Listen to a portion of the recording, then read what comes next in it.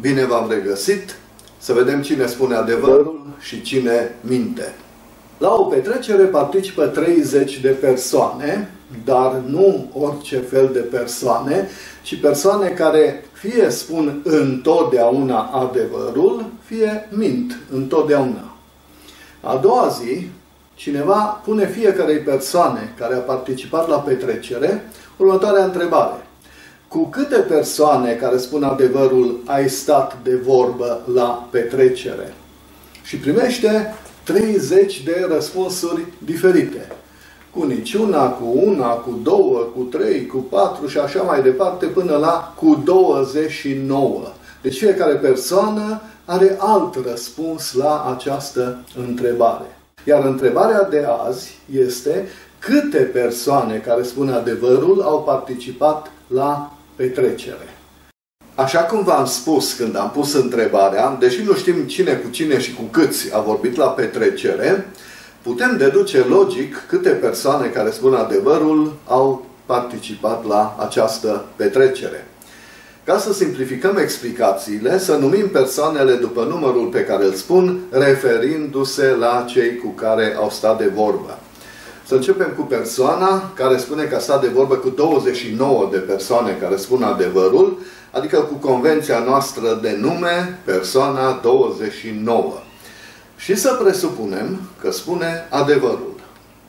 Atunci ar însemna că persoana 29 a vorbit cu toți ceilalți de la petrecere și că toți spun adevărul, deoarece au fost 30 în total. Dar în acest caz, și persoana care spune că a stat de vorbă cu zero persoane care spun adevărul, persoana zero, sper să nu se supere că spunem așa, ar trebui să spună adevărul. Dar dacă persoana zero spune adevărul, înseamnă că n-a stat de vorbă cu persoana 29, caz în care persoana 29 minte. Mai rămâne varianta ca persoana 0 să mintă. Dar și în acest caz persoana 29 minte, deoarece înseamnă că n-a stat de vorbă cu 29 de persoane care spun adevărul.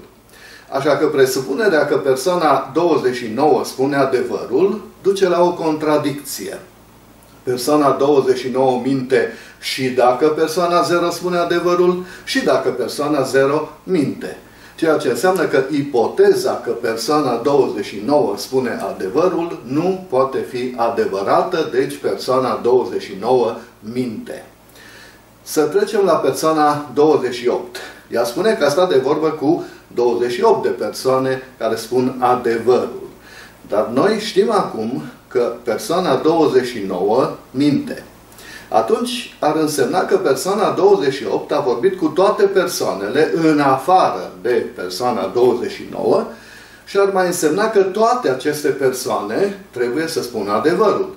Adică din nou trebuie să presupunem că și persoana 0 spune adevărul. Dar așa cum ați văzut deja, și dacă persoana 0 spune adevărul, și dacă minte, înseamnă că persoana 28 minte. Deci și persoana 28 minte. Raționamentul se poate repeta cu același rezultat și aflăm pe rând că persoanele 27, 26, 25 și așa mai departe sunt mincinoase. Să presupunem că am ajuns la persoana 1, adică persoana care spune că a stat de vorbă cu o singură persoană care spune adevărul. Știm deja că toate celelalte persoane în afară de persoana 0 sunt mincinoase. Atunci singura persoană care spune adevărul cu care putea să stea de vorbă persoana 1 este persoana 0. Dar dacă aceasta ar spune adevărul, ar însemna că n-a stat de vorbă cu persoana 1, caz în care persoana 1 minte, iar dacă persoana 0 minte, atunci și persoana 1 minte. Așa că singura persoană care spune adevărul este persoana 0. Toate celelalte au mințit în afirmațiile pe care le-au făcut. Deci răspunsul corect este acela că o singură persoană de la petrecere spune adevărul. Mai există un mod logic de a rezolva problema observat de domnul Gheorghe Chelbosu. Este vorba despre constatarea că, citez din e-mailul pe care mi l-a trimis, orice răspuns dat de o persoană care ar spune adevărul ar trebui să aibă o dublură printre celelalte răspunsuri.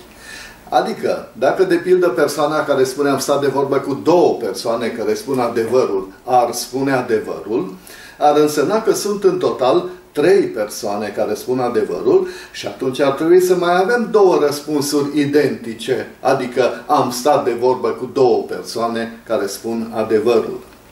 Deci tocmai faptul că fiecare răspuns e diferit de celelalte ne arată că nu poate fi mai mult de o persoană care spune adevărul, iar aceasta nu poate fi decât persoana care spune că a stat de vorbă cu zero persoane care spun adevărul.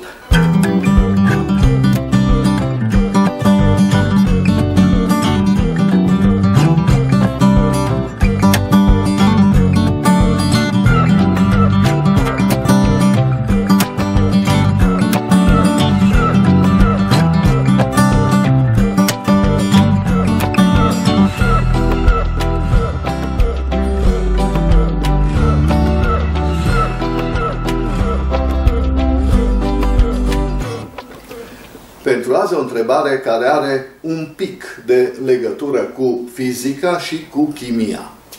Presupuneți că aveți două baloane mari identice și umflate cu aer la exact același volum. Să le spunem balonul A, respectiv balonul B. Mai presupuneți că este iarnă și baloanele sunt în interior, în casă, într-o cameră încălzită. La un moment dat, luați baloanele și le duceți afară, unde este frig. Să spunem că sunt doar câteva grade peste 0 grade Celsius.